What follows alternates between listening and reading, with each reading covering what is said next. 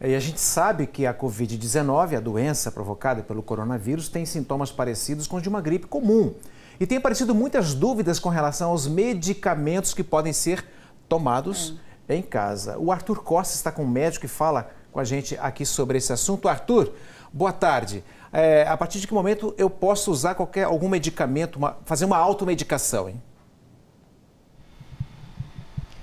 Oi, Abranches, boa tarde para você, para todo mundo acompanhando o Link Vanguarda. Exatamente, a gente reforça aqui né, que a orientação do Ministério da Saúde para que as pessoas só procurem uma unidade de saúde em casos mais extremos, né, aquela febre que não passa, falta de ar. Então, possivelmente essa pessoa que tem sintomas mais leves vai acabar indo até uma farmácia. A gente está aqui então com o Dr. Cláudio que vai dar essa orientação do que, que essa pessoa, doutor, tem que fazer, né, a partir do momento que ela vai para a farmácia, levando em conta todo o risco que a gente já está cansado de falar aqui da automedicação. Né? Boa tarde. Boa tarde, Arthur. Boa tarde aos que nos ouvem.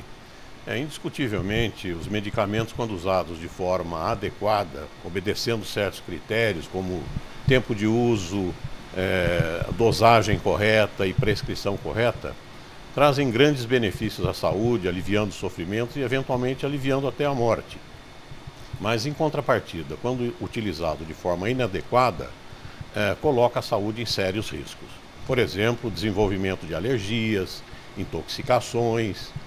Né?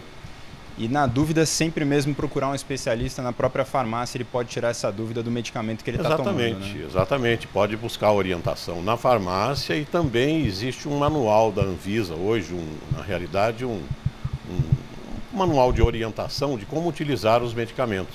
E também existe a bula, né, que deve ser consultada, porque ela traz essas, todas essas orientações. É, a gente fala sempre do risco né, da, da automedicação, Nesse caso exclusivo aqui da Covid-19, alguns medicamentos podem mascarar algum sintoma mais grave que essa pessoa é, deva ir até uma unidade de saúde? Sim, os, os uh, anti-inflamatórios não devem ser utilizados, né? eles têm efeitos colaterais que pode é, acabar criando problema com esse tipo de patologia. Também os antigripais não são indicados. Né? Antitérmicos e analgésicos em circunstâncias especiais, podem ser utilizados sem nenhum problema. desde lembra, que com orientação. Com orientação. A gente lembra aqui, dos, são dois medicamentos né, básicos aí que o Ministério está falando desde o início que a pessoa pode tomar com esses sintomas mais leves. De né? uso bastante corriqueiro, mas é importante a gente lembrar que mesmo esses remédios considerados aí, vamos dizer, do dia a dia, como o paracetamol, por exemplo, quando tomado em doses excessivas, e às vezes as pessoas que se automedicam acham que se tomar uma dose maior vai antecipar a cura, acaba tendo complicações graves, com problemas hepáticos né? Uhum. e outros mais. É o paracetamol e a dipirona, basicamente esses são os Paracetamol remédios, né? e dipirona, basicamente, no início dos sintomas, né? sintomas leves. O que se recomenda é que essas pessoas é, fiquem em casa, né? Procurem hidratar bem o organismo, tomando bastante líquido, se alimentar bem, fazendo repouso evitando qualquer tipo de estresse, tanto físico quanto emocional. E isso aí às vezes é o bastante até para que o próprio organismo reaja e resolva o problema, não sendo necessário o uso de medicações. E a gente reforça aqui também, né, doutor, que nessa época em que tudo é novidade para todo mundo, né, é, as redes sociais, os grupos de conversa acabam sendo infestados aí pelas fake news não há receita milagrosa para eliminar a Covid, né? Absolutamente. Não existe nenhuma medicação, apesar de que existem muitas medicações em teste, mas do ponto de vista aí de, de evidência científica, não existe nenhuma medicação que resolva o problema. Receita caseira, muito menos. Receita caseira, muito menos. É como eu disse, é repouso, boa alimentação, hidratação, né? não fazer exercícios pesados, né? Uhum. Evitar brigar com os familiares, com a esposa ou com o marido. Né? Uhum. A saúde mental é importante muito, também, né, Muito doutor? importante, é. né? sem dúvida. E também eu acho que uma dica boa, tem muita gente que fica ali bitolada na, na internet tentando buscar justamente essa, essa medicação milagrosa, o que eu posso fazer. É, dar uma aliviada também faz parte, né? Uma relaxada, um pouco parar de pensar em, em medicamento. Isso é só para quem está apresentando os sintomas mesmo. Com certeza, né? sintomas que se agravam, né? Os sintomas iniciais, né? Uma coriza, o nariz escorrendo, é, dor de cabeça, garganta arranhando, uma tossezinha, uma febrícula, né? Subfebril, 37,8.